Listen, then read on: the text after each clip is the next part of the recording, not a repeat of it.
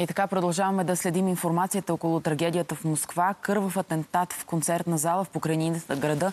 Отне десетки животи. По последна информация става дума за 45 загинали и близо 150 ранени, а извършителите все още се издирват. Знаем ли обаче кой стои за това нападение? Въпросът е към международния ни редактор Момчил Минков. Момчи, здравей! Здравейте! Това, което не знаем е не само кой не го е извършил, а кого и колко души търсят.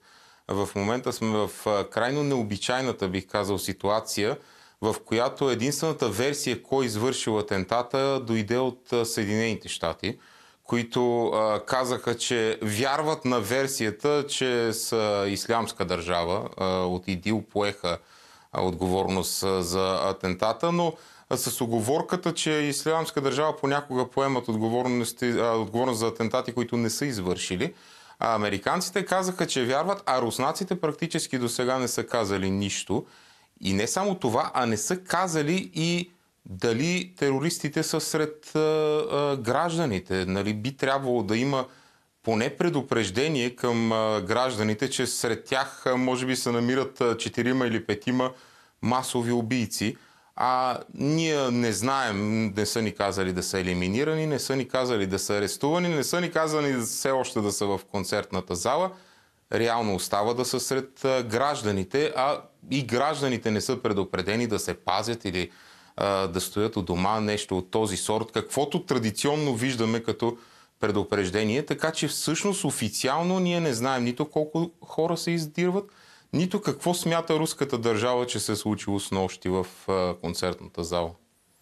Видяхме, че вчера бяха евакуирани търговски центрове не само в Москва, но и в други руски градове. А, очакваш ли днес животът в Русия да бъде променен, да се движи а, по нови правила заради този атентат и заради многото неизвестни, които ти самия а, спомена, най-вече тези, че не е ясно дали тези извършители между трима и петима, поне в началото такава информация се появи, дали те все още са на свобода или вече са заловени. Да, аз само искам да те коригирам, че всъщност убитите са над 60 и след това е от Следствения комитет, т.е. би трябвало да е официална информация и след като са убити толкова хора, няма как да няма промяна, за която ти говориш. Те вече обявиха, че е затегнат режима за сигурност по летища, гари и други ключови обекти. А, така че със сигурност промяна ще има, няма как да няма, но а, пак казвам, нито е ясно а, в каква посока, нито е ясно с каква цел, поне за сега. А, крайно необичайно мълчание. А, пред камерите бяха изкарани а, хора, които съм убеден широката общественост, ако не за първи път, рядко вижда министъра на здравеопазването беше може би най-популярния, а всички други за сега мълчат, включително и Путин, който а, появи се в РИА новости а, информация, че ще даде изявление и след това го махнаха, казаха. Предварителна е била информацията, че президента ще се изкаже и не се изказа. В различни телеграм-канали се появи информация, че в момента на атентата по всички големи национални руски телевизии програмата не е била прекъсната, се, е, човека можело да гледа различни а, забавни формати. Така ли е тази информация и как медиите в Русия отразяват това, което се случва в Москва в момента? Понеже медиите в Русия са а, така, силно зависими от това какво мисли властта, те се чудят какво да говорят. А, имаше един, мога да кажа, шокиращ фейк, за мен поне шокиращ, който мина по а, една от големите руски телевизии, по НТВ. А, там показаха а, уж запис от украинска телевизия, където се появил шефа на разузнаването Данилов и признал, че украинците са извършили атентата, като Данилов на този запис говореше неща като Жешко им стана в Москва и пак ще им направим Жешко или нещо от този сорт. Това не просто не е вярно, той не се е появявал по тази телевизия, а в този ден, 22 март, тези двама водещи, които са на екран показани уж на украинската телевизия, не били на работа и други водещи водели това предаване. А, дори в а, тази особена атмосфера, която руското правителство създаде в Русия покрай а, войната, това е нещо, което съм шокиран, че може да мине по НТВ, което не е някаква кабеларка, една от големите телевизии с десетки милиони а, зрители. Така че руските медии се чудят какво да напишат, точно защото от официалните а, канали не идва нищо и те а, бягат преди вятъра с такива публикации.